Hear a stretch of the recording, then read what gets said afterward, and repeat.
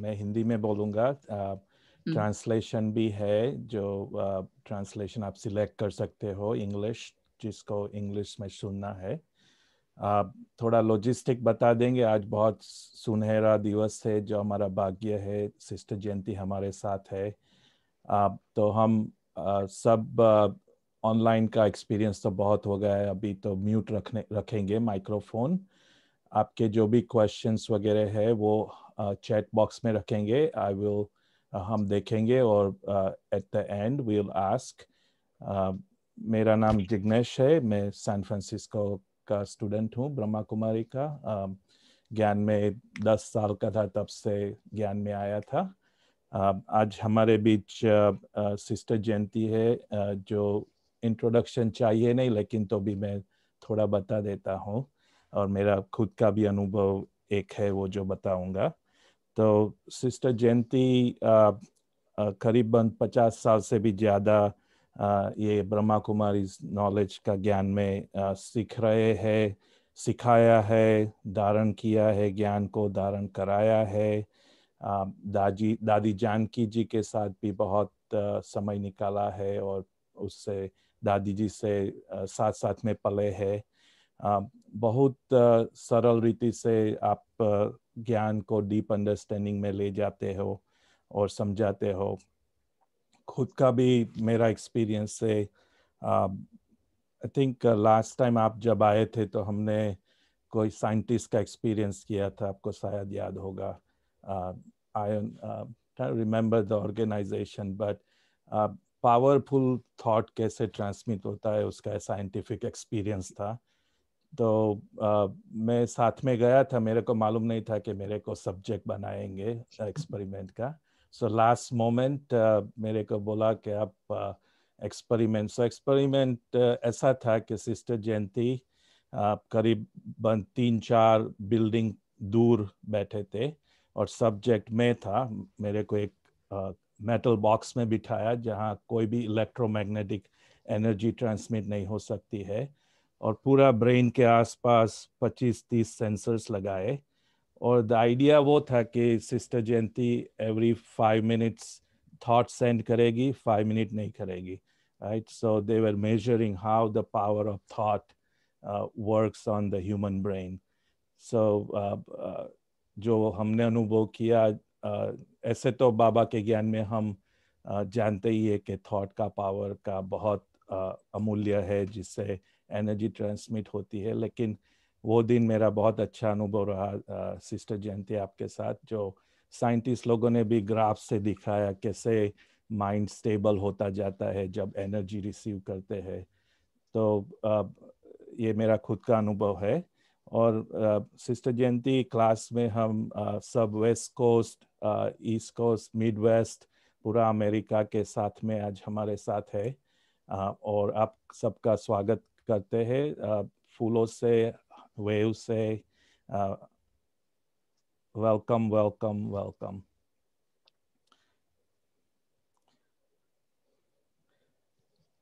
सो आज का टॉपिक बड़ा इंटरेस्टिंग है fortune destiny in godly service so भाग्य फॉर्चून भाग्य है डेस्टिनी इज़ आवर प्रालब्ध और मेरा ऐसा लगता है कि बीच में जो एक इंग्रेडिएंट है, जो एफर्ट पुरुषार्थ भाग्य अकेला भाग्य ज़रूरी है, लेकिन एक जैसे बाबा बोलते हैं कि आप एक स्टेप लेंगे तो बाबा थाउज़ेंड स्टेप्स लेंगे।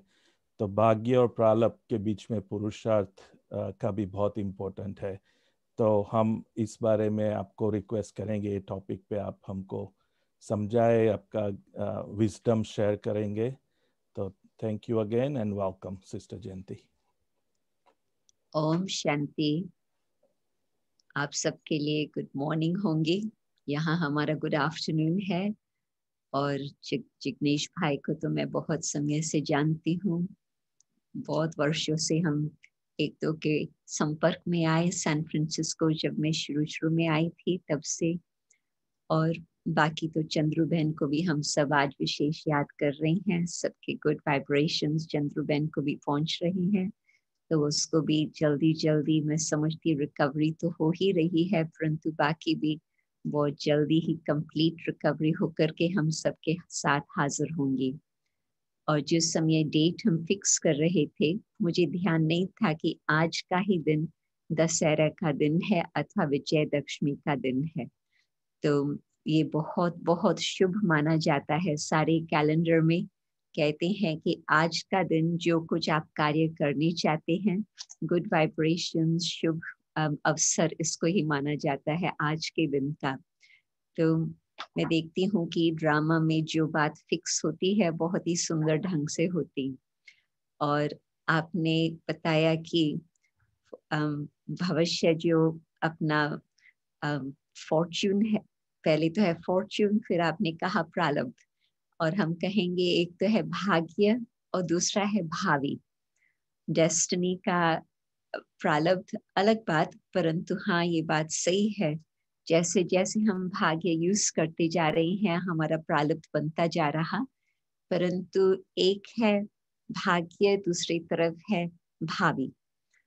और आज ये भावी में था कि आज के दिन ही हम सबकी इस तरह से मुलाकात होंगी। और आज ही बाबा ने मुरली में भी तारामंडल की बातें बताई है, जिसमें एक तो स्थूल तारामंडल, परंतु सब बाबा के बच्चे भी सितारे हैं। किस तरह से वो भी भाग्य अपना खुद का देख करके, अन्य आत्माओं को देख करके वो भाग्य का सितारा चमक रहा है। और हम कहेंगे कि ये बहुत अच्छी भावी थी, निश्चित ड्रामा में था, जो हम सबकी इस तरह से मुलाकात होंगी। तो आप सोचो कि कितना बड़ा हमारा भाग्य है, जो हम बाबा के बच्चे बने। और एक एक बात मैं समझती, यदि कोई नोट करता जाए अपने भाग्य की बात तो मैं समझती करीब 100 पॉइंट्स की लिस्ट तो सहज ही आपको जल्दी में बन ही जाएँगे। क्यों? क्योंकि ब्राह्मण जन्म से पहले भी आप सोचो कि हमारा कितना बड़ा भाग्य था। जिस तरह से हमारा कहाँ जन्म हुआ, जिस तरह से हमारी पालना हुई, जिस तरह से पढ़ाई हुई, जिसने हमें यहाँ तक पहुँचाया जिस तरह से माँ बाप ने हमें भक्ति भावना के संस्कार डाले और हम यहाँ तक आकर पहुँचे। जो भगवान ने भी हमें योग्य समझा और खुद अपना बनाया। तो सचमुच ये हमारी बहुत बड़ी भाग्य की बात है, जो आज हम बाबा के बच्चे बन गए और आज बाबा के साथ हमारा श्वासोश्वास जीवन चल रहा है। उसमें आप सोचो कि एक मुख्य बात कि भगवान हमें चुन करके अपना बनाया। कई होंगे जो कहेंगे कि हाँ हम भगवान को ढूंढ रहे थे।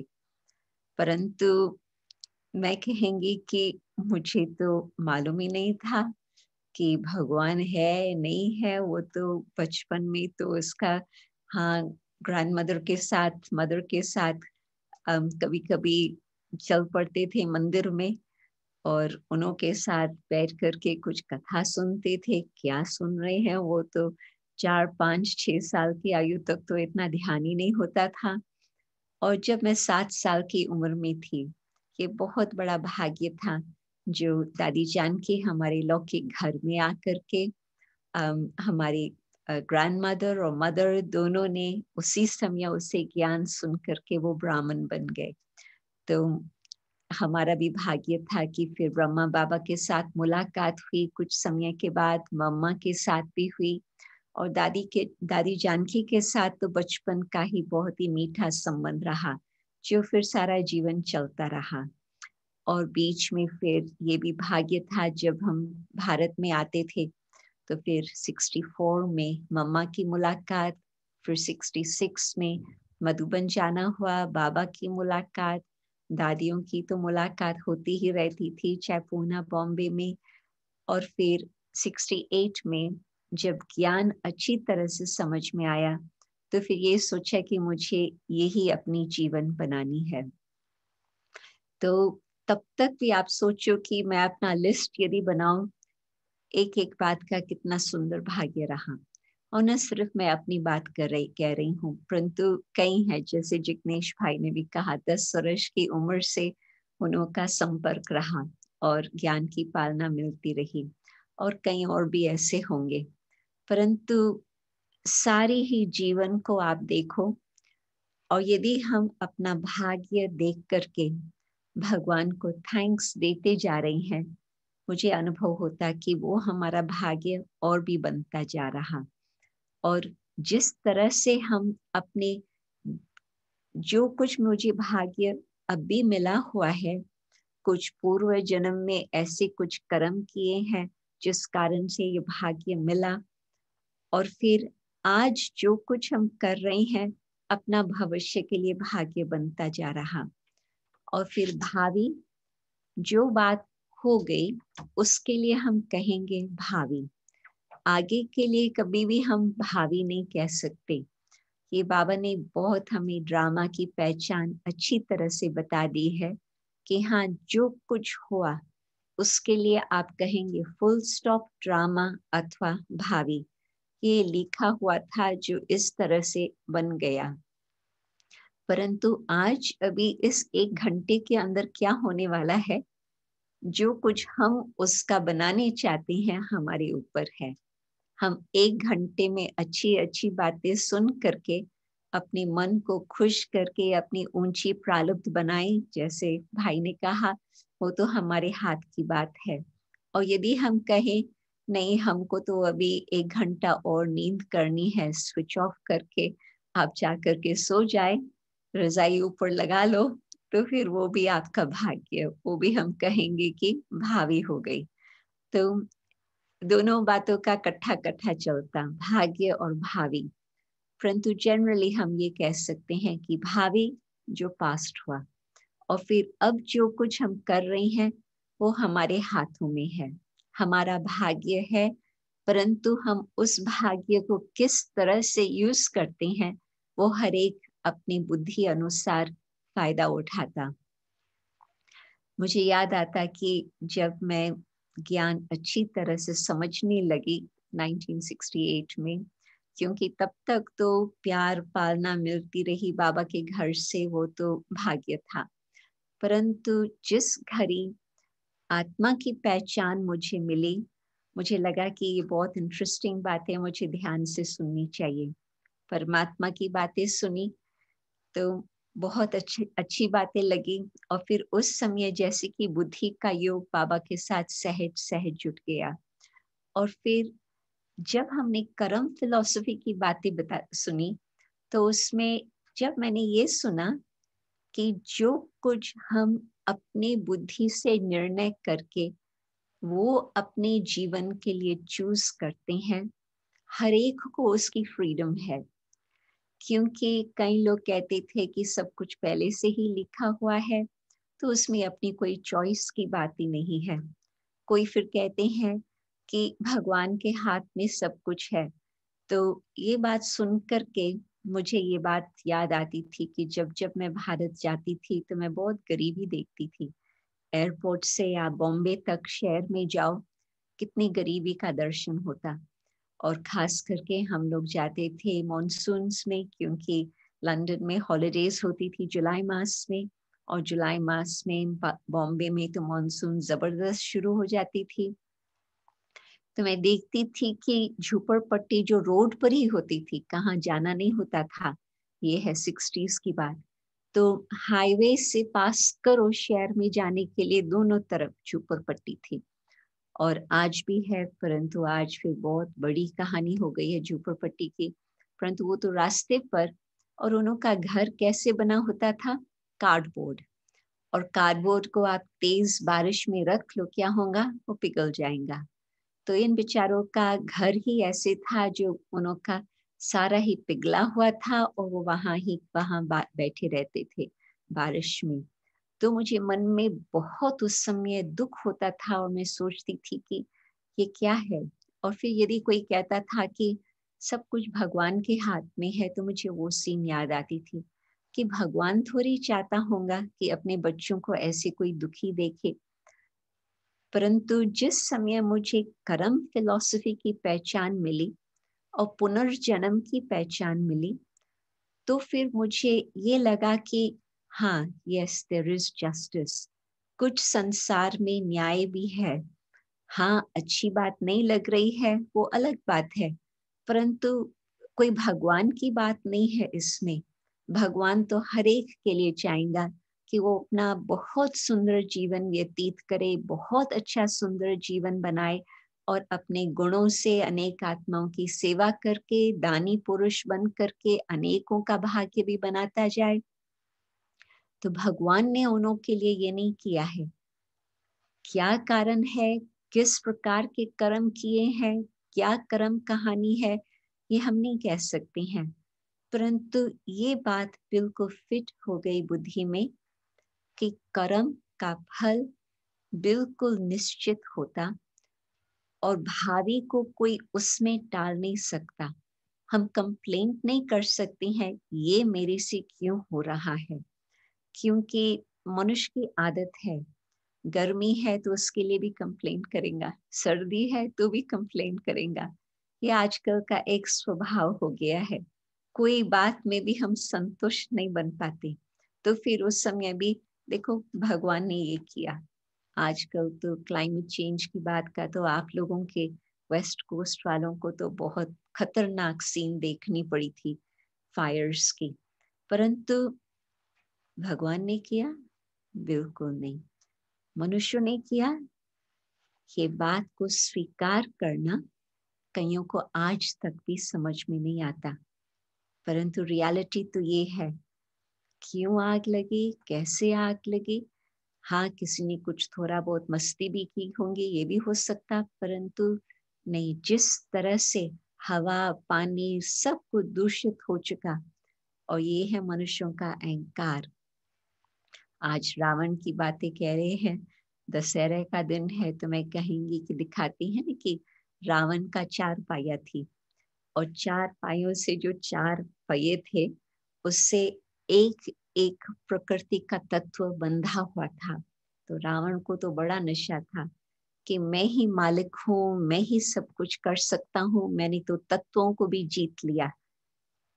आज का समय मनुष्यों का अहंकार। हमने तो सब बातों पर प्रकृति पर जीत पहन ली, परंतु नहीं नहीं हो सकता। तो कहने का मतलब जो कुछ मनुष्य करता है, उसमें जब तक भाग्य अनुसार। तीसरा नेत्र नहीं खोलता, तब तक कोई बात को स्वीकार करने के लिए भी हम तैयार नहीं होते हैं रियलाइजेशन कैपेसिटी भी नहीं होती। तो हम सब का ये भाग्य है कि हमने खुद को पहचाना, बाप को पहचाना, कर्म फिलॉसफी को जाना ड्रामा को जाना। तो आज हम कह सकते हैं कि हाँ हमारा भाग्य तो बहुत सुंदर है। जो भावी निश्चित बनी हुई थी कि हम भगवान के बन जाएँ और ज्ञान और योग का बल हमें प्राप्त हो सके, हमें सब कुछ प्राप्त हुआ है।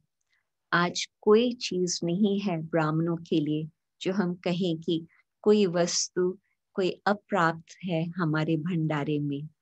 तो जो कहती है ना कि इच्छा मात्रम अविद्या, मैं समझती थोड़ा सा हम ये रियलाइज़ करें कि कितना भाग्य हमें भगवान ने दिया है। तो पहली बात तो ये हमें, हमारी रियलाइजेशन हो। और जैसे मैंने कहा, आज इसके बाद संडे का दिन है तो शायद आपके पास घर में तो बच्चों का रिम झिम मेला झमेला सब कुछ चल रहा होगा। परंतु कोई भी समय, जैसे ही आपको समय मिले आप बैठ करके एक सौ बातें लिखो कि किस किस प्रकार से आपका भाग्य है अब तक भी जीवन में। मैं समझती एक सौ पॉइंट से ज़्यादा तो हो ही जाएगा। तो आपके दिल में बाबा के लिए बहुत प्यार जागृत होगा। आप कहेंगे कि बाबा आपका तो धन्य है, हमारा भाग्य का धन्य है जो हम यहाँ तक पहुँचे हैं। और आगे भी हमारा भाग्य और भी बनता ही जाएगा। ये हमें पूरा ही निश्चय है अथवा विश्वास है। तो आज मैं किस बात का भाग्य मानू? आध्यात्मिकता की तरफ़ से तो मैंने कई बातें बताई, परंतु आज मेरी तबीयत ऐसी है जो फिर भी मैं ज्ञान, योग सुन रही हूँ, समझ रही हूँ, अभ्यास कर रही हूँ। हमारा समय का भाग्य है कि हमको इतना समय है क्योंकि कई लोग तो बेचारे अपने जीवन गुजारे के लिए ही दिन रात मेहनत करते हैं। दो जॉब्स तीन जॉब्स करके अपना पालना कर रहे हैं, बच्चों की पालना कर रहे हैं। और हम आज निश्चिंत बैठे हैं ज्ञान सुनने के लिए, योग करने के लिए। तो हमारी तबीयत, हमारा समय, हमारे सर्कमस्टेंसेस हमारा परिवार का साथ है जो हम कर रहे हैं, ये सब कुछ एक एक बात का भाग्य हम कहेंगे। हमारा श्वास मुझे मदद कर रहा है ज्ञान समझने में, आगे बढ़ने में। तो आज जितना हमारा भाग्य है, अब मैं उस भाग्य को किस प्रकार से उसका प्रयोग कर रही हूँ? समय है। क्या मेरा समय श्वासोश्वास कदम कदम पर मेरा समय सफल हो रहा है? तो मैं कहेंगी कि हाँ बहुत श्रेष्ठ हम सबका भाग्य है।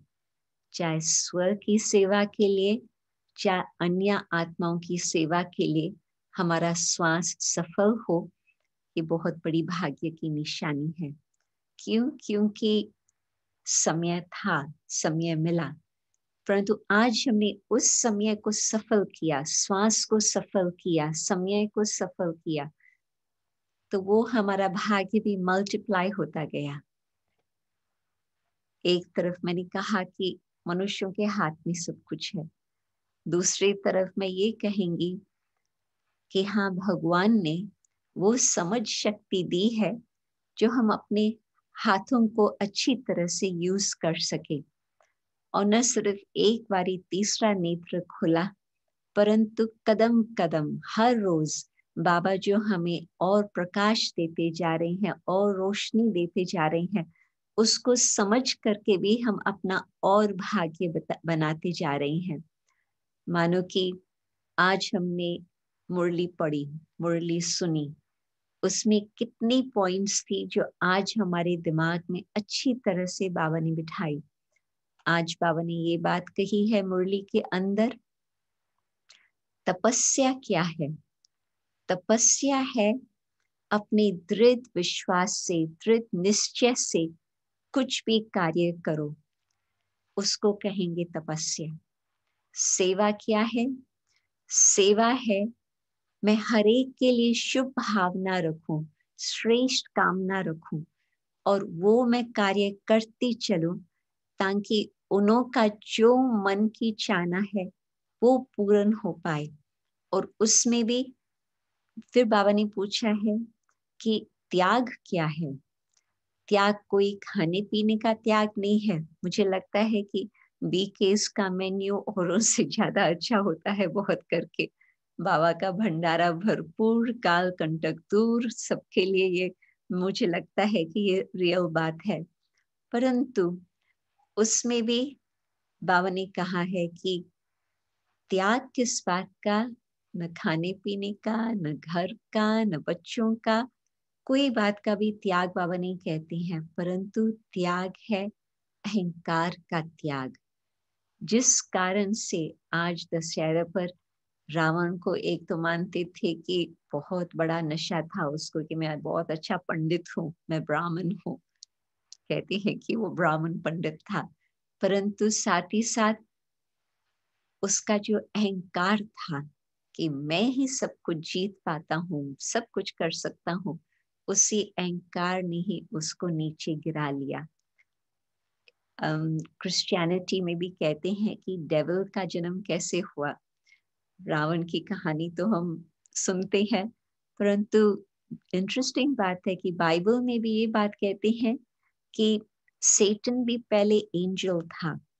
और एंजल जिस समय उसको अहंकार आया कि मैं भगवान से भी ज़्यादा कर सकता हूँ तो वो गिरा और जिस समय वो गिरा अहंकार वश उसी कारण से वो डेवल बन गया। तो फिर अहंकार जब आता है तो उस समय इंसान को कुछ बात की पहचान नहीं होती है और तीन स्टेजेस है। एक तो है अहंकार, बिल्कुल एरोगेंस बहुत तेज, बहुत सख्त और फिर नेक्स्ट है इंफीरियोरिटी कॉम्प्लेक्स वो सुपीरियोरिटी वो इंफीरियोरिटी उसमें भी मैं विक्टिम हूँ। मैं कुछ अपने लिए कर नहीं सकती हूँ। और हमको बंधन में डाल रही हैं। हम परवश है। पिटी ऑन मी इस तरह से जो संकल्प चलते हैं, वो डिप्रेशन में ले आते हैं। परंतु वो भी है देभान दे अभिमान। परंतु बाबा क्या चाहते हैं कि मैंपन जो हो, मैं वास्तव में कौन हूँ? मैं हूँ बहुत भाग्यशाली ब्राह्मण आत्मा। ब्रह्मा बाबा के मुख कमल द्वारा हमने जन्म लिया। या आप सबके लिए मैं कहेंगी मैं कहेंगी, मैंने ब्रह्मा बाबा के नैनो के द्वारा जन्म लिया। आप सब कहेंगे, आपने जैसे उस दिन बाबा ने बताया कि ब्रह्मा बाबा के संकल्प से आप लोगों ने जन्म लिया। तो कितनी महान बात है। परंतु उस महानता में हम जानते हैं कि कितना हमारा महान ये जन्म है। परंतु उस महानता में उसकी विशेषता है नम्रता। तो आज बाबा ने बताया है, त्याग की निशानी है नम्रता। इंटरेस्टिंग तो अहंकार को छोड़ना ये है सबसे बड़ा त्याग, मैंपन का त्याग। तो हर रोज बाबा हमें ऐसे अच्छी अच्छी इंटरेस्टिंग बातें बताते हैं, जो हम सोचते हैं कि आज देखो बाबा ने क्या कहा, आज देखो क्या बाबा बोलते हैं। तो हर समय इंटरेस्टिंग बातें बाबा की होती है, ताकि हमारा तीसरा नेत्र कभी बोर्डम के वश बंद न हो जाए। क्या है कि आपने देखा है कोई इंटरेस्टिंग बात चल रही है तो किसकी आँखें बंद नहीं होंगी? थोड़ा सा कोई बोर हो जाता और बोर्डम का भी कारण होता कि ध्यान यहाँ वहाँ चला गया। तो फिर उसको पिकअप थ्रेड करो इट्स डिफ़िकल्ट तो फिर वो जो बीच में बोर्डम आ जाती है, कोई भी कारण से अलबेलापन थोड़ा सुस्ती तो फिर आँख, तीसरा नेत्र थोड़ा थोड़ा बंद होने लगता। तो हम अच्छी रीति समझ नहीं पाते हैं कि बाबा क्या हमें बता रहे हैं।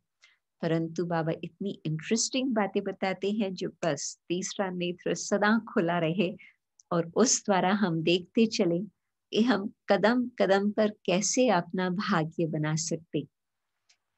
आप देखो, सत्युग त्रेता में हर एक भाग्यशाली है ही, परंतु कोई कंपैरिजन की बातें नहीं है जो हम समझे कि मेरा बहुत अच्छा भाग्य है। द्वापुर कलयुग में जो कर्म हम करेंगे, उसका फल शुरू हो गया सत्युग में तो प्रालब्ध हम प्राप्त कर रहे हैं। बैंक बैलेंस सभी हम बना रहे हैं। उस बैंक बैलेंस से लेते चलो लेते चलो लेते चलो, आखिर भी तो खूट जाएगा। तो वो बैंक बैलेंस सारा खत्म बहुत सारा परंतु मोस्टली तो खत्म हो गया। फिर कुछ न कुछ हम कुछ अच्छा काम भी करते थे, परंतु कुछ गलत काम भी करते रहे। तो द्वापुर और कलयुग में वो कर्म, फिलोसफी शुरू हो जाती। और कुछ कुछ हम उस समय समझते भी हैं।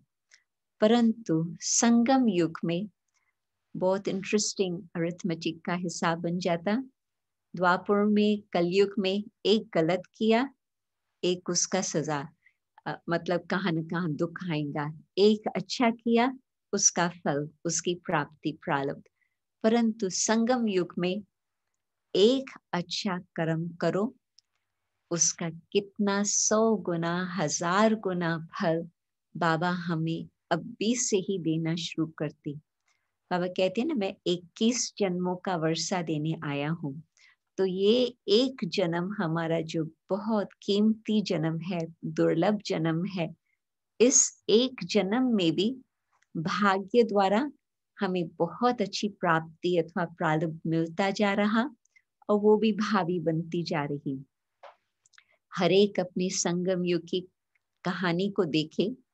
बाबा के लिए कितना किया, इतना सा किया।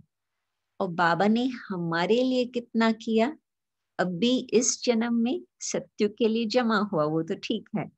परंतु अब भी ही हमें शक्ति मिली, हमें सुरक्षा प्राप्त हुई, हमें शांति मिली, हमें खुशी मिली, हमें स्वास्थ्य मिला।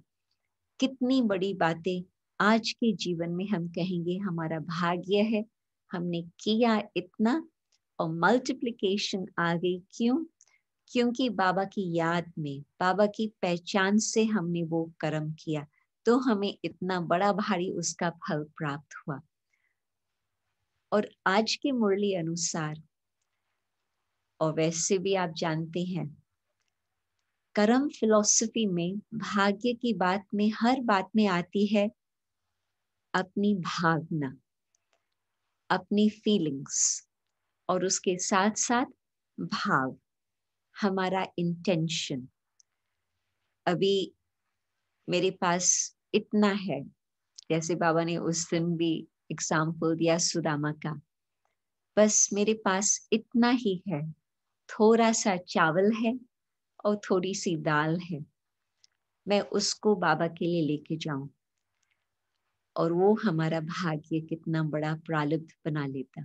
बस इतना ही मैंने किया। थोड़ा सा मुट्ठी चावल की भगवान को दी। मेरा भाग्य है जो एक मुझे सीन याद आती है कि हम जब साकार में, मैं तो छोटी ही थी तो ये होंगी 1966 की बात या 1967 क्योंकि उस समय कोई ज़्यादा लोग नहीं थे मधुबन में। 68 में मैं जब गई तो उस समय दीदी ने कहा, बहुत पार्टीज़ आ गई हैं, बहुत पार्टीज़ बाबा को सुना रही थी तो बहुत पार्टीज़ का मतलब उस समय था करीब 100-200 के बीच। आप सोचो पांडव भवन ही था और बाकी जो अलग अलग बिल्डिंग्स है वो तो थे ही नहीं। तो नेचुरली 100-200 भी आ जाए, बहुत बड़ी बात थी। आजकल तो बीस हज़ार, पच्चीस हज़ार की संख्या में आते हैं वो अलग बात। परंतु ये होंगी 66 67 की बात जब हम मॉनसून के टाइम पर गए थे, जबकि सिर्फ़ तीस मधुबन निवासी होते थे और वो भी अधिकतर बहने, उसमें भी मैं समझती चार पाँच भाई ही होते थे, बस इतना ही था मधुबन। परंतु बाबा थे, हम तो जाते थे बाबा के लिए। तो उस समय दस ग्यारह बजे का समय था। हम बाबा के पास बैठे थे। बाबा के छोटे से कमरे में, बाबा के कमरे को भी बहुत बड़ा बना लिया है आज का। तो हम वहाँ बैठे थे बाबा के पास। तो दीदी आई। तो दीदी मनमोइनी दीदी ने बाबा को कहा, बाबा, एक बहुत बूढ़ा है। वो आपसे थोड़ा मिलने चाहता है। आपको कुछ देना है। बाबा ने तुरंत कहा हाँ बच्ची, उसको बुलाओ। तो वो बूढ़ा आया। वो किसान होगा तो शायद इतना बूढ़ा था भी नहीं, परंतु वेदर में उसकी चमड़ी ऐसी बन गई थी, उसका चेहरा ऐसे था जो लगता था कि बहुत बूढ़ा है।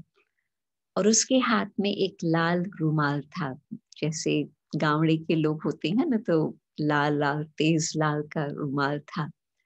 तो वो इतना सा ही रुमाल में कुछ बंधा हुआ था। तो वो बाबा को देता है और कहता है कि बाबा, ये हमारी खेत की चावल है और थोड़ी दाल है। बाबा, आप इसकी खिचड़ी बना करके ज़रूर स्वीकार करना। तो बाबा उसको दृष्टि बड़ी प्यार से दे करके फिर वो रुमाल दीदी के हाथ में देता और कहता है कि, बच्ची, आज ही ये खिचड़ी बनवा लेना। तो बाबा भोग लगाएँगे, स्वीकार करेंगे। और वो तो बूढ़ा इतना खुश इतना खुश। भविष्य में महल मिलेगा वो, उसको खुशी नहीं। परंतु बाबा ने मुझे इतना प्यार से देखा, नज़र से मिलाया, नज़र से निहाल किया वो उसको खुशी। और वो फिर बाहर निकला और बाबा ने बहुत इंटरेस्टिंग बात कही। भगवान के हाथ में है किसी का भाग्य बनाना। तो भगवान हमारा छोटा सा भी कुछ स्वीकार करे कितनी बड़ी बात है, कितनी महान बात है। और हमारा भाग्य बन जाता प्रालुप्त बन जाती, वो भी भावी में फिक्स हो जाती। तो आज हमने तन से, मन से, धन से, समय से, संबंध से कहाँ तक अपना भविष्य बनाया है, कहाँ तक हमने हर चीज़ को सफल करके हमने अपनी कमाई की है। तो जो भाग्य अनुसार मुझे मिला है, उस बेचारे को ज़्यादा कुछ था ही नहीं, परंतु भाग्य था जो खेती थी और भाग्य था जो खेती से इतना भी बचत थी। और हमारे पास क्या है? कुछ कलाएँ होंगी, समय होगा, कुछ संबंध होंगे। हर बात को आप देखते चलो कि कितना हमारा भाग्य है। अब मैंने कहाँ तक सफल किया है? और और आगे में मुझे किस प्रकार से सफल करना होगा? तो फ़र्स्ट है तन मन धन को देखना और संबंध और श्वास और ये सब। फिर नेक्स्ट है मनसा वाचा कर्मना हमने कहाँ तक अपने मन को बाबा के कार्य में सफल किया है? मन को हमने कहाँ तक, आज बाबा ने बताया है सेवा किस आधार पर होती? सेवा का रिज़ल्ट क्या? सेवा का आधार है अपनी श्रेष्ठ भावना, अपनी शुभ कामना। और फिर सेवा का रिज़ल्ट है संतुष्टता। मुझ आत्मा के अंदर संतुष्टता की फीलिंग हो, जो मैं संतुष्ट मणि बनूं और अन्य आत्माओं को भी मैं संतुष्ट करूँ। और यदि कोई भी कारण से मैं नहीं संतुष्ट हूँ तो उस सेवा से क्या रिज़ल्ट निकलेंगी? सेवा में तो क्या, परंतु जीवन में ही इतनी प्राप्ति का अनुभव नहीं होगा? तो फिर बाबा ने कहा है, पहले तो खुद अपने को संतुष्ट मणि बनाओ और फिर सेवा में आगे बढ़ो। और बाबा ये भी नहीं चाहता है कि हम सेवा छोड़ देवे। क्योंकि सेवा छूट जाए तो भाग्य भी छूट गया, हम क्या और आगे करेंगे? अपना भविष्य कैसे बनाएँगे? परंतु बाबा ने इतना तक भी कहा है कि हाँ यदि उससे आपको संतुष्टता नहीं है, ये मानो कि लास्ट स्टेप है। फ़र्स्ट स्टेप है ये देखना कि हाँ मेरा मन संतुष्ट है, मैं औरों को संतुष्ट कर सकती हूँ। और यदि इस डिपार्टमेंट में मुझे संतुष्टता नहीं है तो क्या और क्या मैं सेवा करूँ जिससे मेरा मन संतुष्ट रहे? और यदि कोई भी कारण से मन संतुष्ट नहीं हो पा रहा तो उस व्यक्ति का दोष नहीं सिचुएशन का दोष नहीं सर्कमस्टेंसेस का दोष नहीं अस्थान का दोष नहीं। क्यों? क्योंकि वो असंतुष्टता मेरा स्वभाव है। जहाँ पर भी मैं जाएँगी, जो कुछ भी मैं काम उठाएँगी, जो कुछ कार्य में करने चाहेंगी वो असंतुष्टता मेरे अंदर है तो वो मेरे साथ चलती रहेंगी। परंतु बाबा ने कहा अच्छा ठीक है, कुछ समय छुट्टी कर लो, अपने आप को संतुष्ट मणि बनाओ, ताकि फिर से एक सप्ताह, दो सप्ताह सदा के लिए तो कोई नहीं कहेगा कि बस मैं सेवा से छोड़ दूँ, परंतु ठीक है, थोड़ा समय चाहिए वो समय लेकर के, अपने आप को, अंदर की भावनाओं को साफ़ करके, अपने को शक्तिशाली बना करके, फिर वापस हम सेवा के क्षेत्र में आए। और जिनों के साथ पहले अनबन थी, मैं यदि संतुष्ट हूँ तो उनों के साथ अनबन क्यों होंगी? क्योंकि नीचे ऊपर बातें होती है, होती ही रहेंगी, ये तो अंडरस्टूड जो मैं चाहती हूँ, वो तो सभी नहीं करेंगे। मैं अपने आप को नहीं चेंज कर सकती हूँ तो मैं कहूँ, आप चेंज हो जाए। वो भी तो नहीं होगा। कैसे हो सकता संभव ही नहीं है।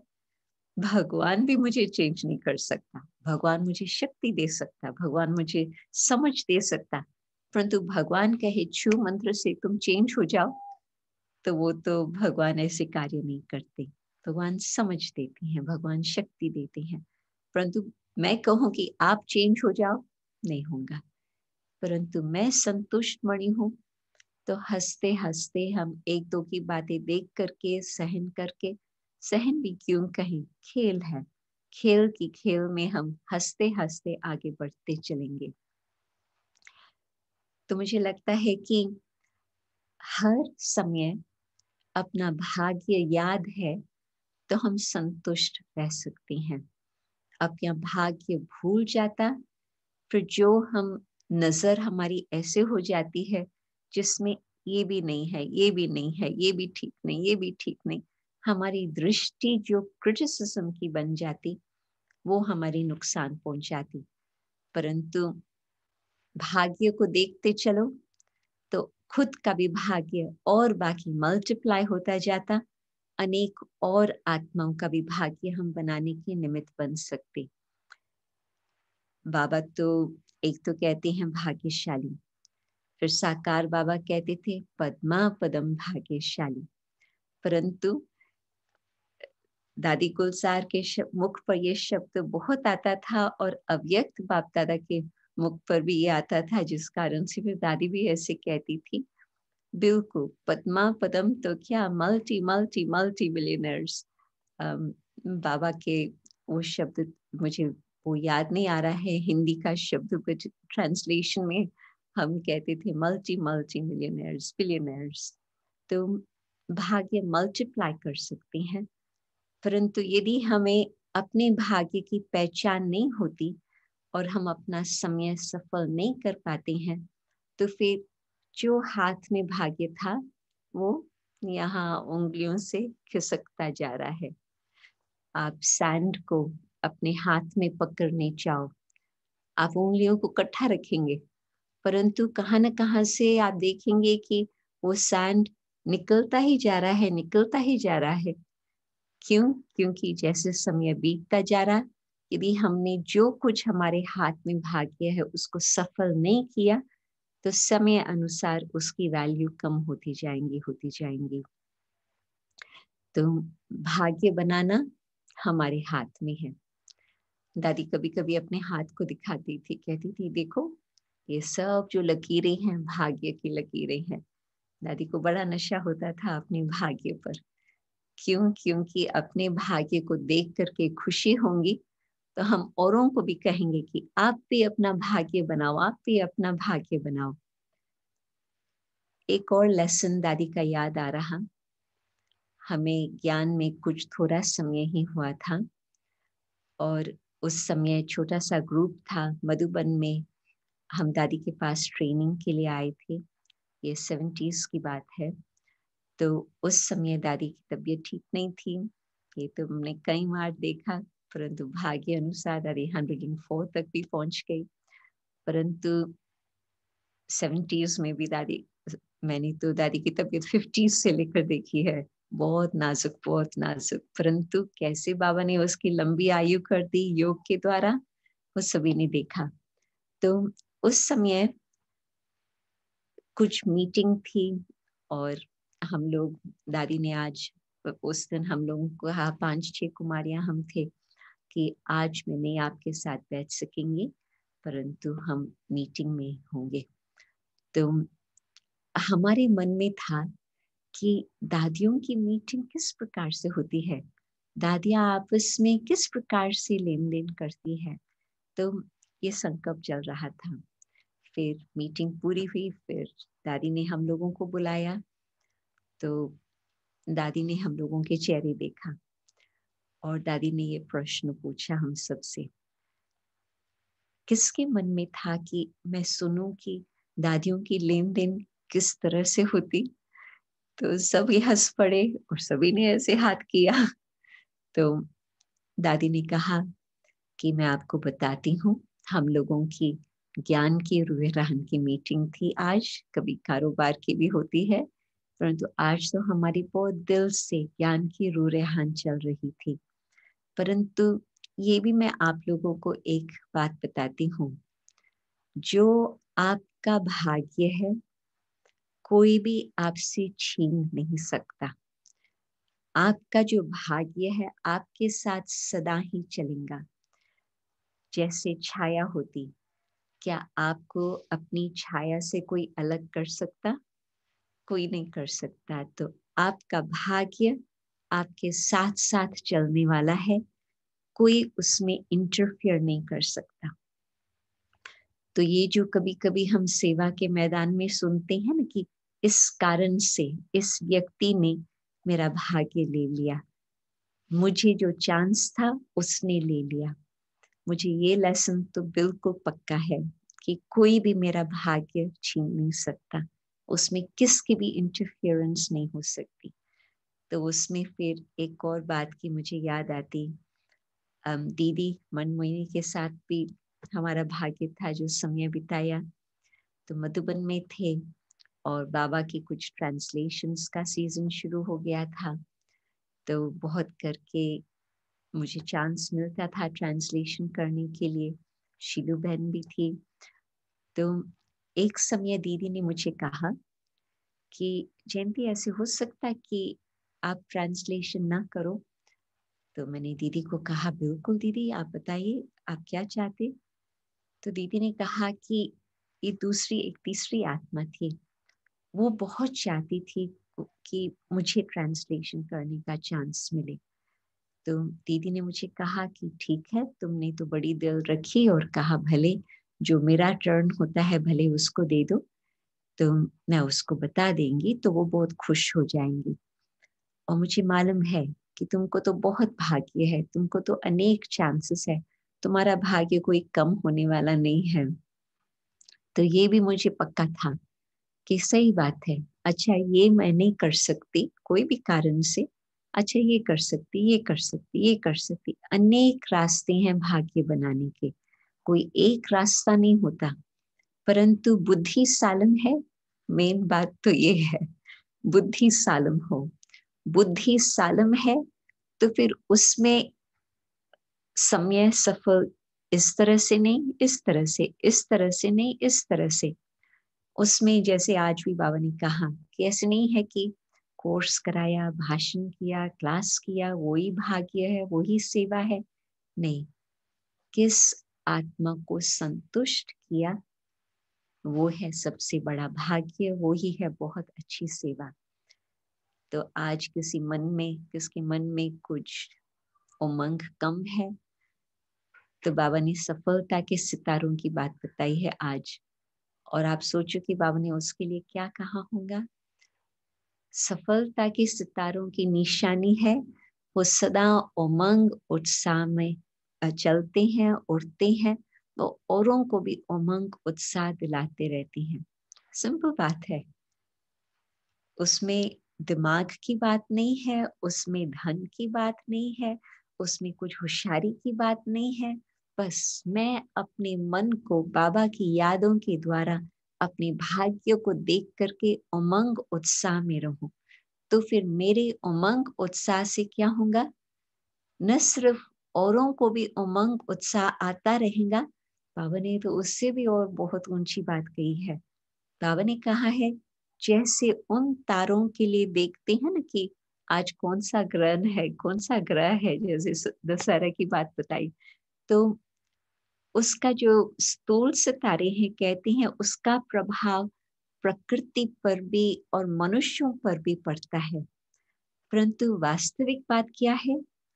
कि जो बाबा के बच्चे चैतन्य तारे हैं, धरती के सितारे हैं, जो उनों की स्थिति है, उसका प्रभाव प्रकृति पर भी और मनुष्य आत्माओं पर भी पड़ता है। कितनी महान बात है। आप उमंग, उत्साह में रहो, अपना भाग्य देखते चलो, उसका गुणगान करते चलो। तो फिर औरों को भी वही उमंग, उत्साह आएगा और वो भी उन स्थिति से इतना ऊंच अपनी आत्मा को उड़ा के ले चलेंगे। दादियों की क्या सेवा होती थी? मैं देखती थी कि मानो कि एक सप्ताह का हिसाब देखो, कोई भी दादी का। ब्राह्मणों की सेवा ही होती थी। बाहर के प्रोग्राम्स तो कब कब होते थे? मधुबन में भी सारे वर्ष में तो मोस्टली तो ब्राह्मणों के प्रोग्राम्स ही चलते रहे। बाकी कुछ कुछ बाहर के प्रोग्राम्स तो दादियों ने कौन सी सेवा की? ब्राह्मण में सदा उमंग, उत्साह बना रहे। ये उनों की सेवा थी। तो श्रेष्ठ सेवा, सफलता के तारे ये सेवा करते हैं। तो मुझे आज क्या करना है? मुझे अपने मन को इतना ऊंच स्थिति को बना करके रखना है जो मुझे मालूम है उसका प्रभाव अनेक आत्माओं पर पड़ेगा। तो भाग्य की बातें तो बेहद की बातें हैं।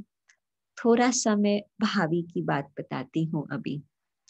अच्छा एक तो ये बहुत अच्छी भावी है कि हम बाबा के बन गए। और फिर ये भी बहुत अच्छी भावी है कि आज तक हमारा ज्ञान और योग अच्छी तरह से चलता रहा। परंतु कभी कभी ब्राह्मणों के अंदर थोड़ा सा ये भी महसूसता आती है कि कुछ गलती भी हो गई है संगम युग में। कोई छोटी गलती कहेंगे, कोई बड़ी गलती कहेंगे। परंतु यदि उस बात को भी हम उठाते हैं और उसमें दो बातें कहेंगे। एक तो मुझे रियलाइज़ हो कि वो गलती का दोष किसी और का नहीं था, मेरा ही था। गलती हो जाती और आपने देखा होगा, छोटे बच्चे होंगे, खेल रहे हैं, कोई चीज़ टूट गई, फिर एक दो पर उंगली उठाएँगे कि इसने गिराया इसने गिराया। परंतु नहीं, जो भी था, उसमें मैं भी शामिल थी तो मैंने ही गिराया। परंतु छोटे बच्चों को ये उस समय वो नशा होता, मैंने नहीं किया, उसने किया। परंतु आज तो हम छोटे बच्चे नहीं हैं। तो आज यदि हमारे मन में कोई भी कारण से कुछ गलती सोचते हैं कि ये गलती हो गई, परंतु यदि आज तक भी मैं किसी और को दोष देती हूँ कि उसके कारण से ये मेरी गलती हो गई तो वो मेरे सिर पर वो और बोझ होता। परंतु मैंने रियलाइज़ किया कि किस कमी, किस कमज़ोरी के कारण ये गलती हो गई तो वो रियलाइजेशन कैपेसिटी बाबा देखते हैं तो बाबा मदद करती हैं। उसमें भी यदि मैंने सच्चाई से रियलाइज़ किया और सच्चाई से बाबा के सामने वो बात रखी, पहले तो बाबा कहते थे कि बाबा को लिखो, बाबा को बताओ। फिर बाबा कहते थे कि हाँ जो ये श्रेष्ठ आत्माएँ, महान आत्माएँ अपनी दादियाँ हैं, उन्हों के सामने रखो। आज फिर मैं कहेंगी कि हाँ जिसमें विश्वास है, उन्हों के सामने बात रखो। परंतु फिर भी मेन बात है कि खुद से ऑनेस्ट होकर के रियलाइज़ करें फ़र्स्ट स्टेप सेकंड स्टेप ये बिल्कुल हम अपना पक्का संकल्प करें कि ये बात का आज से मेरा बिल्कुल विश्वास है डिटर्मिंड थॉट है, दृढ़ संकल्प है। आज बाबा ने कहा है कि दृढ़ता की बेल्ट बाँध लो। तो उसी बात को ही बाबा ने कहा है कि ये भी एक तपस्या है, दृढ़ता से कोई भी कार्य करना। दृढ़ संकल्प हो, ये तपस्या है। तो दृढ़ता से हम बिल्कुल ये पक्का विश्वास करके हम कहें, बाबा, ये बात फिनिश फुल स्टॉप आगे ये गलती नहीं होने वाली है। खुद में भी विश्वास इतना है, बाबा में भी इतना विश्वास है, भावी को हम चेंज कर सकते हैं। ये मेरा भावी में था, मैं उससे सबक सीखा हूँ। आगे वो भावी रिपीट नहीं होंगी, वो चेंज होगा। मेरा भाग्य है जो अब तक भी मैंने रियलाइज़ करके उस बात में परिवर्तन कर लिया ताकि आगे वो बात रिपीट ना हो। तो भावी को सचमुच फुल स्टॉप लगाए। उसमें फिर आती है, बाप समान यदि हम बनने चाहते हैं, औरों को भी हम माफ़ करें, बड़ी दिल रख करके, प्यार से, रहम से, खुद को भी हम माफ़ करें। हम यदि खुद को माफ़ नहीं करते हैं, वो भी हमारे पुरुषारत में अटक आ जाते। खुद को भी माफ़ करें औरों को भी माफ़ करें और साथ साथ फिर माफ़ करने के बाद उस बात को भुला लेवे। एक बार दादी ने बहुत इंटरेस्टिंग बात कही थी।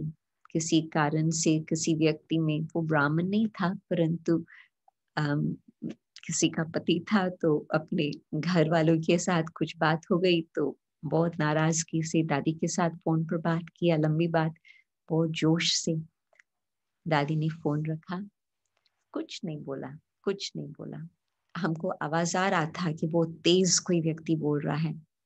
फिनिश फिर दादी ने उसके युगल को बुला करके उसको बताया कि तुम अभी घर जाओ, वातावरण थोड़ा गर्म है, तुम जल्दी जाओ।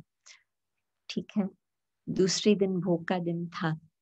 दादी ने उस बहन को बुला करके विशेष उस भाई के लिए भोग भेजा। तो मुझे तो आश्चर्य लगा कि दादी खास उस आत्मा को याद कर रही है। फिर दादी ने कहा कि मैंने तो उसके दिल में कुछ बात नहीं रखी, परंतु उसकी दिल भारी हो गई होंगी कि मैंने ये काम किया।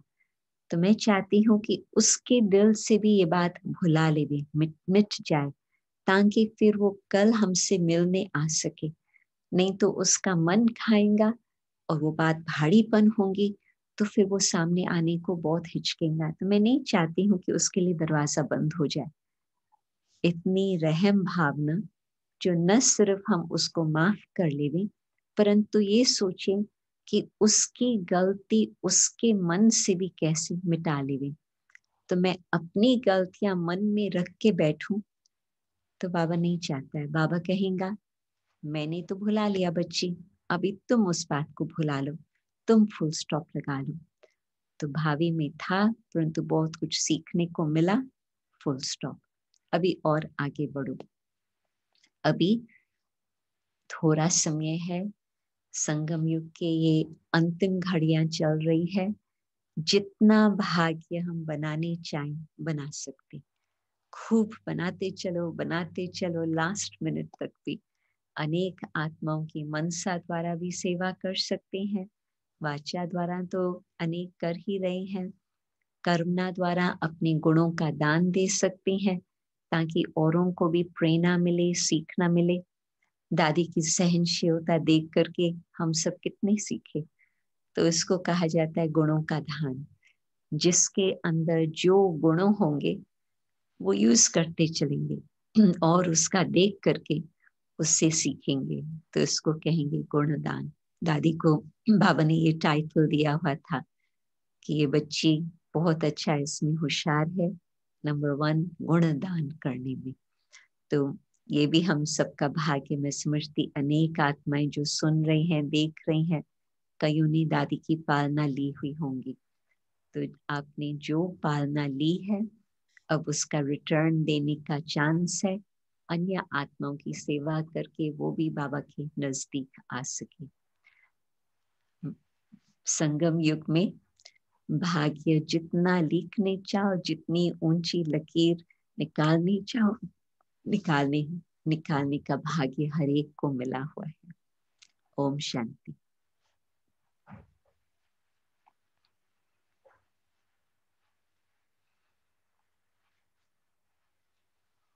शांति।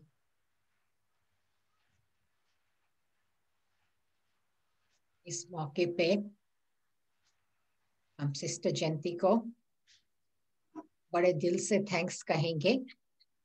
मैं समझती हूँ कि मेरा वो भाग्य रहा है कि मैं सिस्टर जयंती को चालीस साल से जानती हूँ। और जो उन्होंने बातें सुनाई संतुष्टता की सचमुच वो देवी है इस बात के। और मैं कईयों को अपना अनुभव शेयर करती हूँ कि जब हम छोटे थे, ज्ञान में आए, तब लंदन बड़ा छोटा होता था। और जो भी जो दीदी सेवा करते थे, जयंती दीदी तो और भी नई नई कुमारियाँ आना शुरू कर दी दी। तो वो वो सेवा करती थी। जैसे कि दीदी पहले इंग्लिश मुरली ट्रांसलेशन करते थे, फिर जैसे और बहनें तैयार होती गई तो वो और सेवा करने लगी। तो मैंने देखा कि उन्हों की विशेषता ये रही कि जैसे उन्होंने सुनाया, उसने कभी अपने आप से इनसिक्योर नहीं समझा। ऑलवेज उनके पास कहा ना कहा से सेवा आती ही रही है।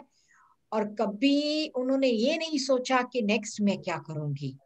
और और ये उनकी बहुत बड़ी विशेषता है कि औरों के कैसे आगे करना जैसे छोटी छोटी कुमारियाँ आती है तो उनको कैसे पालना देना कैसे आगे करना और विशेषता देखना। तो मैं तो दिल से थैंक्स कहती हूँ कि हमने उन्हें से बहुत बहुत बहुत सीखा है। और सीखते रहते हैं।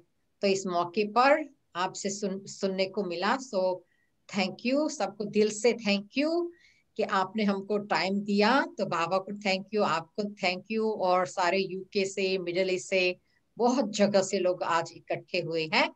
सो सबको ताहे दिल से thank you Yeah. Thank you, Hema Ben, uh, for that have a few questions, Jayanti Ben. थोड़े दो तीन questions है.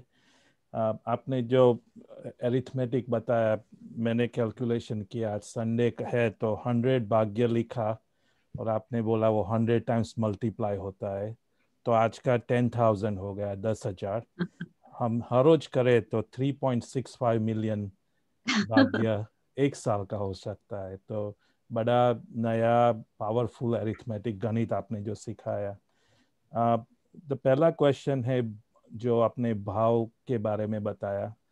आ, कई बार ऐसा होता है कि हमारा भाव और भावना दूसरे के प्रति अच्छा होता है लेकिन दूसरा जो सामने वाला है वो नेगेटिव वे लेता है और दुखी होता है। तो हमारे में क्या चेंज करना चाहिए? मैं समझता हूँ मेरा भाव अच्छा था लेकिन जो रिसीविंग एंड में है उसने उस तरह से नहीं लिया। तो उसका कारण क्या हो सकता है? मुझे लगता है कि कहा न कहा मेरा कुछ शायद उसमें अहंकार भरा हुआ था। कहा न कहा शायद मुझे और थोड़ा अंदर जाँच करनी होगी कि मेरे अपने भाव को बिल्कुल मैं क्लीन रखूँ। कुछ भी उसमें कुछ पास्ट की बातें मिलावट न हो, कुछ उसमें और देवभान की बातें मिली हुई न हो क्योंकि थोड़ा सा भी मिलावट होंगी तो उस व्यक्ति को लगेगा। तो उसका तो बाकी भी बैड इंप्रेशन हो जाएगा। तो फ़र्स्ट स्टेप तो ये है कि मैं सचमुच देखूँ कि उसमें कुछ देवभान की बातें मिक्स तो नहीं थी हमारी भाव में। और फिर यदि मैंने वो सच्चाई से चेक किया और वो उसमें कुछ नहीं था सचमुच बहुत श्रेष्ठ भाव था। परंतु फिर भी कहा न कहा मिसअंडरस्टैंडिंग हो गई। तो फिर तो मैं कहेंगी कि ठीक है, मुझे और अपनी स्थिति को ऊँचा बना करके उसको अपने दिल से शुभकामनाएँ देनी होंगी, ताकि जो भी बात है वो मिट जाए और फिर हमारे में, आपस में आगे के लिए वो मिसअंडरस्टैंडिंग न हो। तो ये अपनी पुशारत को और आगे बढ़ाने के लिए बात आई है, क्योंकि जिस तरह से बाबा है, बाबा कुछ भी बात हमें कहते थे, मैं सोच रही हूँ कि कई होंगे यहाँ जिन्होंने पर्सनल बाबा की मुलाकात की होंगी। तो बाबा कभी हमें कुछ इशारा देते थे तो भी हम दिल से स्वीकार करते थे। कोई बात नीचे ऊपर होती थी तो भी हम सोचते थे कि हाँ उस बात को हम किस तरह से ठीक करें। तो हर बात में हम यही सोचे कि ठीक है, ये बात ऐसी है, मुझे कुछ और आगे के लिए सीखना होगा। तो उस बात को इग्नोर न करें सिर्फ़ डिनाई न करें कि नहीं मेरा तो भाव ये था। परंतु कुछ जो भी मिलावट है उसको क्लीन कर ले तो फिर वो भी भाव पहुँच जाता। थैंक यू दूसरा एक सवाल है कि आप प्रैक्टिकल स्टेप्स बताए नम्रता को कैसे प्रैक्टिस करें? ह्यूमिलिटी को प्रैक्टिस कैसे करें? मुझे लगता है कि जितना जितना आत्म स्मृति में रहेंगे, उतना हम और आगे बढ़ सकेंगे। और उसमें हमें कोई प्रकार का दुख नहीं होगा, क्योंकि ईगो अथवा देह अभिमान की निशानी है। कुछ न कुछ हमारे दिल को दर्द होता। किसने ये कहा, ये बात हो गई, दिल पसंद नहीं हुआ तो भी हमारे मन में कुछ उसका ठीक ठीक ठुक ठका परंतु नहीं। जितनी नम्रता देही अभिमानी स्थिति के कनेक्शन से उतना हम मज़बूत होते जाएँगे। और देही अभिमानी स्थिति बहुत सूक्ष्म है। देवभान किस समय आ जाता पता ही नहीं चलता। तो एक बहुत सिंपल तरीका है, क्योंकि आजकल की मूल्य में बाबा की साकार मूल्य में सोल कॉन्शियसनेस का बाबा बहुत बता रहे हैं चार्ट का बाबा बहुत बता रहे हैं।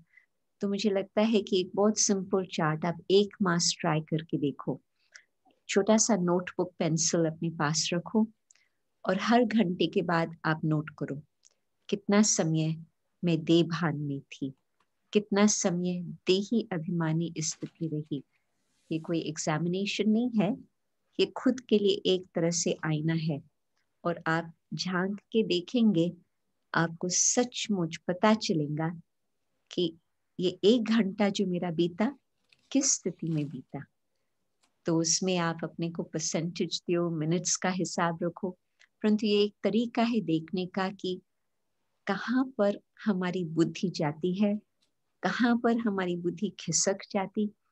तो जितना जितना देही अभिमानी स्थिति का हम अभ्यास करते हैं, जो फाउंडेशन है ज्ञान का, योग का तो उसमें हमें नम्रता भी बढ़ती जाती है। और एक सवाल है, आपने जैसे बताया इच्छा मात्रम अविद्या तो इच्छा को कंप्लीटली रिमूव कैसे कर सकते हैं? जितना बाबा ने दिया है, उसका अप्रिशिएट करने से ग्रेटिट्यूड बाबा ने हमें क्या नहीं दिया है? आप सोचो। एक दिन दादी जानकी का अपना अनुभव सुनाती है कि मैं बैठी थी और बाबा पास करके जा रहे थे तो बाबा रुक करके मुझे कहा कि बच्ची, कुछ चाहिए? तो दादी ने कहा, नहीं बाबा, कुछ नहीं चाहिए। तो बाबा कहा, चक्कर लगा करके फिर वापस आए और फिर कहा, बच्ची, बताओ, कुछ चाहिए तो नहीं? फिर दादी ने बाबा को कहा, बाबा, क्या अपनी जेब में कुछ छुपा करके रखा है जो आज तक नहीं दिया है? बाबा आपने तो सब कुछ दिया है। तो बाबा मुस्कुराते कहे, अच्छी बात बच्ची तो सचमुच बाबा ने क्या नहीं दिया है मुझे? आप हिसाब करके देखो, विश्व भर में जितने भाग्यशाली आत्माएँ हम हैं, कोई भी नहीं है। तो बाकी किस बात की इच्छा रखें? जैसे माता होती है ना, माता को मालूम होता है कि बच्चे को क्या चाहिए। तो बच्चे को मांगने की भी ज़रूरत नहीं होती। बाबा ने पहले से ही सब कुछ दे दिया। जैसे माँ पहले से ही दे देती तो पूछने की भी ज़रूरत नहीं है। और क्या चाहिए? मैं कभी सोचती हूँ। एक बारी मैं अमेरिका में गई थी तो एक शहर में दो ब्राह्मण थे तो वो मुझे लेके गए कि ये तुम देखो स्थान बहुत बड़ा डिपार्टमेंट स्टोर था। तो सब तरफ़ हम घूमे जल्दी जल्दी, आधा घंटा। तो फिर कहा कि तुमने कुछ भी नहीं लिया। मैंने कहा, मुझे तो कुछ चाहिए ही नहीं। उन्होंने कहा, कुछ तो ज़रूर लियो। तो मैं रुक गई। मुझे क्या चाहिए? रियली there's नथिंग क्या चाहिए? कुछ भी नहीं चाहिए। तो ऐसे ही अपनी भाग्य को देखते चलो और ये देखो कि कितनी प्राप्ति हो चुकी है।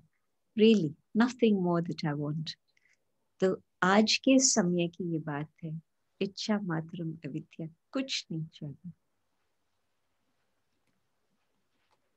आपने most of the question answer कर दिया लेकिन एक दो क्वेश्चन और है। जो बंधन और अटैचमेंट है उसमें दोनों में कोई डिफरेंस है? बंधन और ये मेरा कर्म है बंधन होता है तो ये मेरा कर्म है। Um, कई लोग कहते हैं कि मेरी अटैचमेंट नहीं है ये मेरा हिसाब किताब है मेरा कर्म बंधन है। परंतु मैं तो कहेंगी कि अटैचमेंट के कारण ही कर्म बंधन है। यदि अटैचमेंट न होती तो आप ये कर्म बंधन शब्द नहीं यूज़ करते।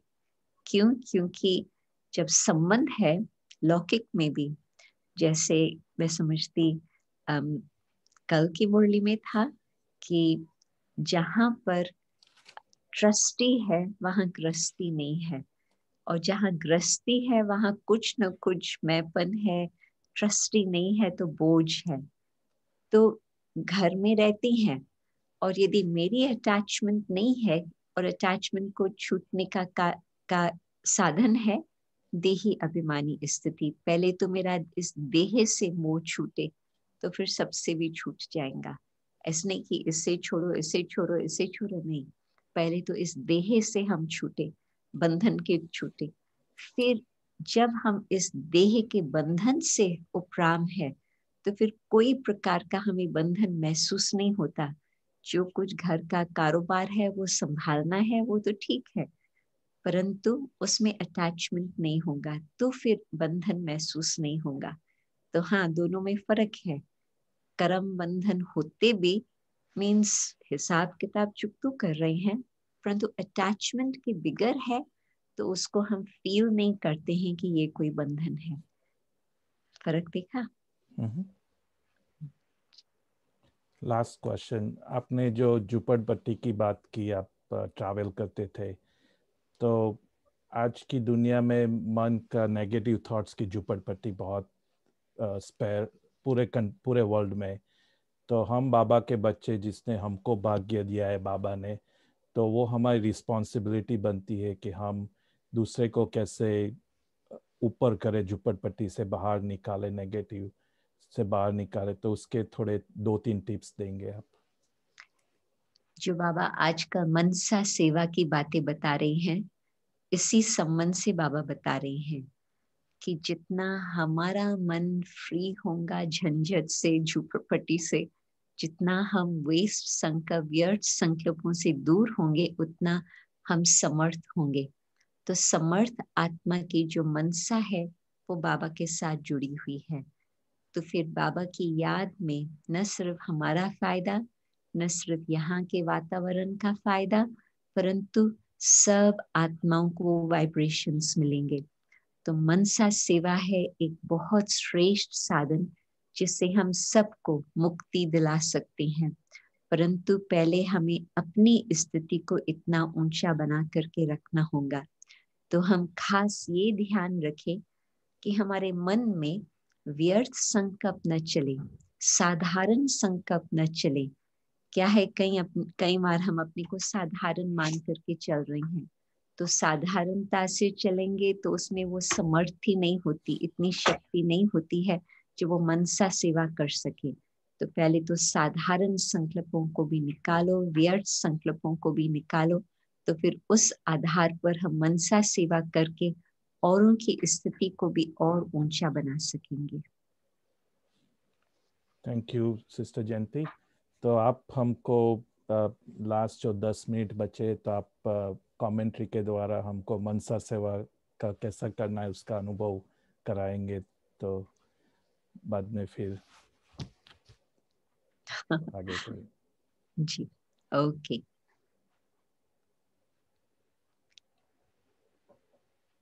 ज्ञान की बातें सुनते सहज ही अपने मन को आत्म स्मृति में स्थित करके बाबा के साथ संबंध जोड़ते। मैं आत्मा शांत स्वरूप और बाबा शांति का सागर। शांति के सागर की लहरें न सिर्फ़ मुझ आत्मा तक पहुँच रही, परंतु शांति की लहरें सारे विश्व में फैलती जा रही। बाबा ही शांति दाता बाबा ही म्यूज़िक को बंद कर दो। शांति दाता ही सब तरफ़ शांति की किरणें फैला रही हैं। मनुष्य आत्मा को भी शांत करने के लिए सारे चैतन्य जीव को भी शांति का दान देने के लिए प्रकृति को भी शांति का दान देने लिए शांति की किरणें सारे विश्व को शांति का दान दे रही शांति सागर के साथ साथ हम भी शांति दूत, शांति का संदेश देने वाले और आत्माएँ न सिर्फ़ शांति चाहती, परंतु आत्माएँ हर एक सच्चा प्यार का एक झलक, एक घड़ी के लिए भी अनुभव चाहती। आत्मा का एक माशुक जिसको हम आधा कल्प से ढूंढ रहे थे। अब उस माशुक का हमें शुद्ध, शक्तिशाली, निस्वार्थ प्यार का अनुभव हो रहा। प्यार का सागर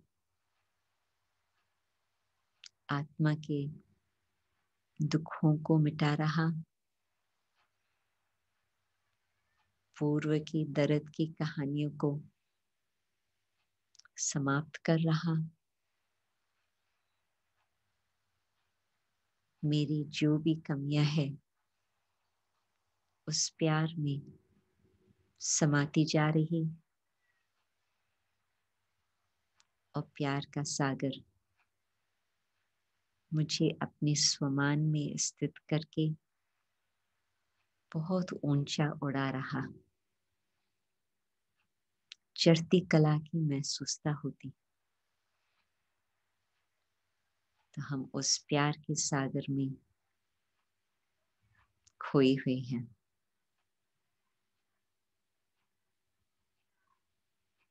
बाबा, जो प्यार आप देते, सारे कल्प में ऐसे प्यार कहाँ पर भी नहीं मिला।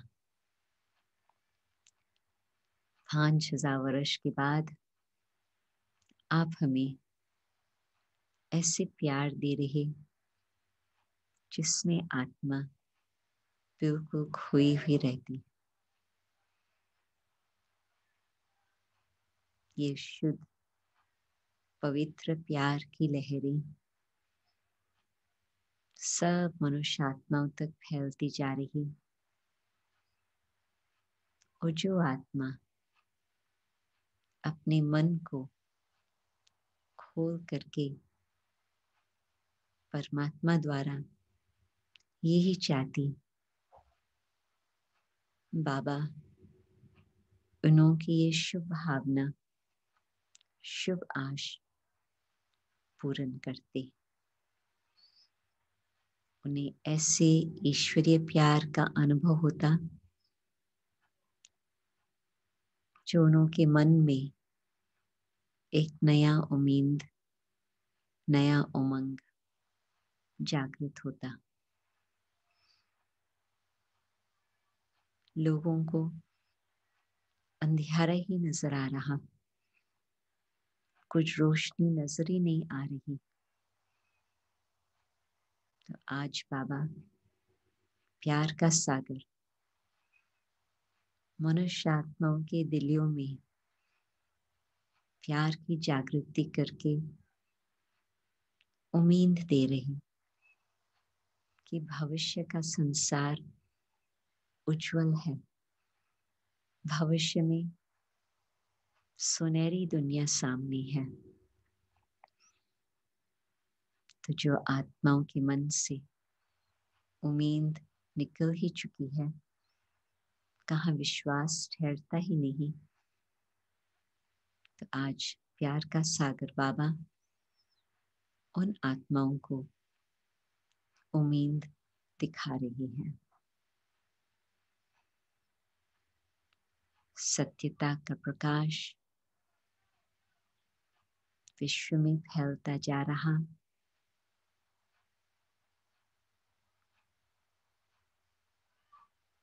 अंधियारी रात, अप्राप्ति की रात समाप्त हो रही। सत्यता का प्रकाश और प्राप्ति की आश पूर्ण होती जा रही।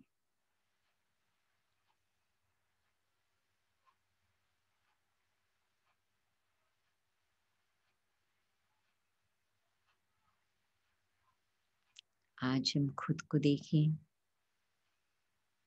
बाबा द्वारा सर्व प्राप्ति हो रही, जिसमें सचमुच कोई अप्राप्त वस्तु रही नहीं। स्थूल सूक्ष्म भगवान ने हमें ऐसी पालना दी है जिसमें हम सब आत्माएँ संतुष्ट रहे।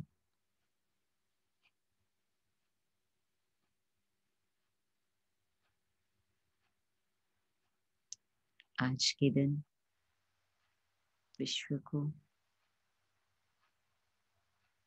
यही सत्यता की शक्ति का दान दे रहे जो संसार से झूठ चला जाए और विश्व में फिर से सत्यता आ जाए, रोशनी आ जाए, अथवा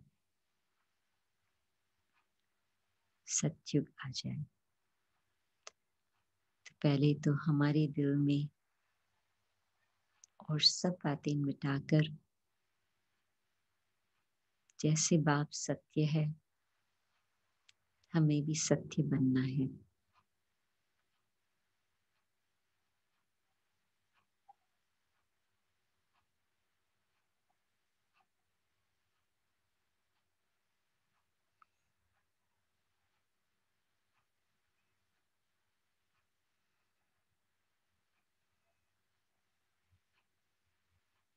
बाबा की शक्तिशाली याद द्वारा मुझ आत्मा का भी परिवर्तन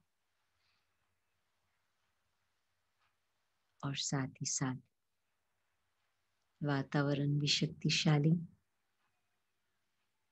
परंतु विश्व की सारी आत्माओं की सेवा और प्रकृति की भी सेवा इकट्ठी इकट्ठी हो रही है।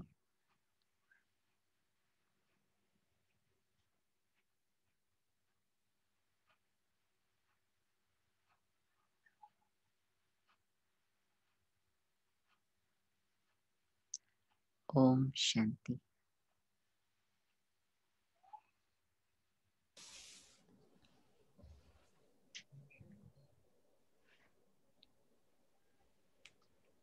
ओम शांति।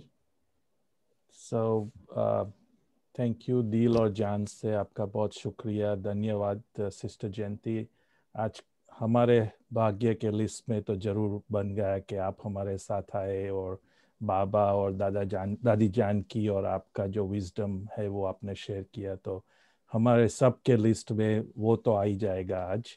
आ, हम सबको रिक्वेस्ट करते हैं कि अपना वीडियो ऑन करके आ, अपना थैंक्स प्रदान करें सिस्टर जयंती को टाइम के लिए। हर्षा भाई अब व्यू में रखेंगे सबको। So thank you very much for your time Harsha भाई। आप सभी को बहुत बहुत धन्यवाद। और विशेष, जबकि हेमा बहन ने मुझे निमंत्रण दिया तो मैंने तुरंत ही हाँ कहा तो हेमा बहन को भी दिल से थैंक्स वही निमित्त बनी। नहीं थैंक यू थैंक यू आपको और सभी को थैंक यू सबके सहयोग से हुआ है इसलिए सबको थैंक यू सभी सेंटर वालों ने स्टूडेंट्स ने सबको दिल से thank you Om Shanti thank you ओम शांति।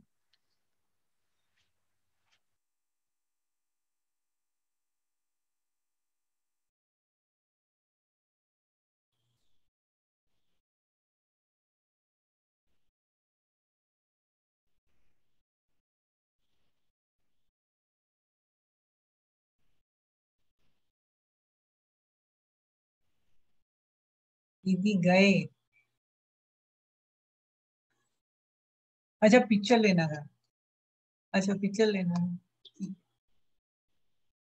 दीदी तो चले गए વૈશાલી હજુ એકસો એસી જણ છે પણ બેન, અ, જીમેશ, એ ના તો હમણે શાંતિ રાખ